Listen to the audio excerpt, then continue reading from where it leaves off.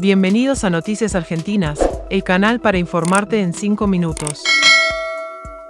Suscríbete a nuestro canal, es gratis y nos ayuda mucho. Jubilados, el fin de los bonos en 2023. Se podrían terminar los bonos en este año 2023, se viene un año difícil para los jubilados y pensionados de ANSES.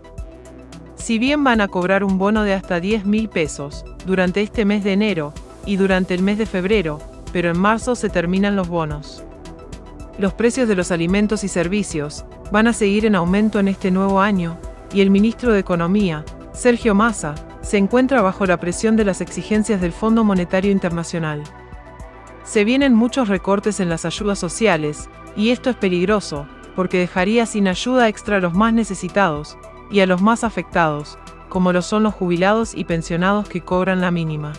Hay que tener en cuenta también que el ajuste del FMI ha incluido medidas que buscan reformar el sistema de jubilaciones y pensiones en todo el país, lo que puede tener un impacto muy negativo para los jubilados. En tanto, el presidente Alberto Fernández prometió que va a ayudar a los jubilados y pensionados.